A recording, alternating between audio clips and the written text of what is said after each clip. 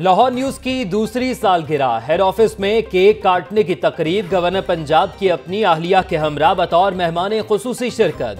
Chairman दुनिया media group मियाँ आमिर महमूद के हमरा केक काटा। पूरी टीम को मुबारकबाद, बोले लाहौर न्यूज़ आवाम की आवाज़ है। लाहौर की खबर के लिए लाहौर न्यूज़ ही देखता हूँ।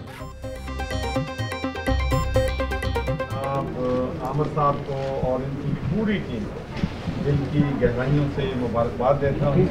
और मुझे यकीनी तौर पर खुशी होती है जब मैं देखता हूँ कि हमारी जो ऑर्गेनाइजेशन है कामयाब कैमरे का ठीक है ठीक है जो है रहा है। और खासकर जब खातन की तादाद बच्चों से ज़्यादा होती है तो और भी ऑर्गेनाइजेशन लाहौर न्यूज़ की सालगिरह पे मैं लाहौर न्यूज़ को मुबारकबाद पेश करता हूँ और अक्सर लाहौर न्यूज़ पे मैं लोगों के मसाइल को देखता हूँ और उसको हल करने की कोशिश करता हूँ।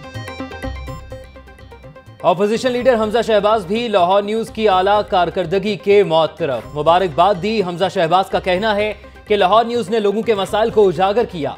लाहौर न्यूज़ को देखकर मसाइल हल करने की कोशिश करता हूँ।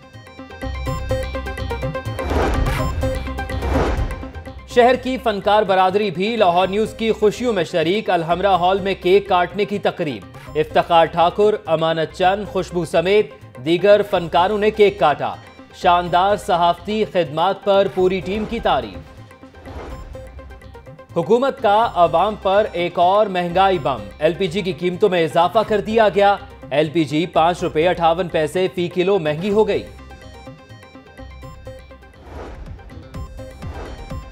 और शहरियों को पुलिस से मुतलिक शिकायत डीआईजी ऑपरेशंस लाहौर के दफ्तर में खुली कचहरी का इनका। डीआईजी वक्कास नजीर ने शिकायत सुनी, हल के लिए अहकाम जारी कर दिए।